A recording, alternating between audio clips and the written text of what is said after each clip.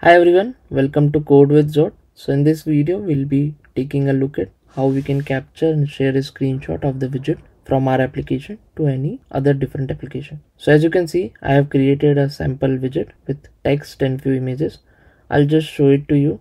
So this is the text and this is the container for this line and this is the QR image.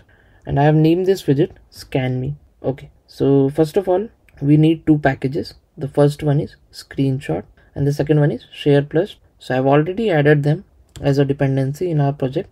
So i'll just quickly show it to you how this thing can be done. So first of all we'll just go to main.dart and as you can see i have created this widget scan me which i have already shown you. So we will just take the screenshot of this widget.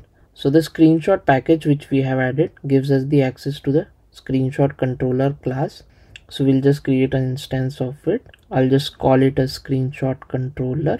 Okay. I'll just remove the const from here. So what we will do is we'll just create a final image.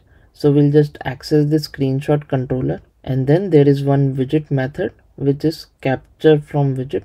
So we'll just pass scan me widget. And also there is one property for pixel ratio. One is like it looks little blurred to me. You can adjust it according to you so i'll just pass value as 2 also we have to wait for this image. It returns a future and we'll make it as async function. Yeah.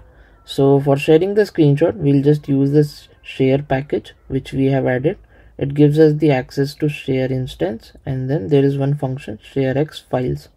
So it basically takes the multiple files. We'll just pass one file so we have to create the x file from the data because ss controller gives us the data in Uint8List type. So we'll just pass the data here. And also we have to specify the mime type. So we'll just pass it as png so this is all done. We'll just hot restart our application and click on this share button. And yes as you can see this image has been generated.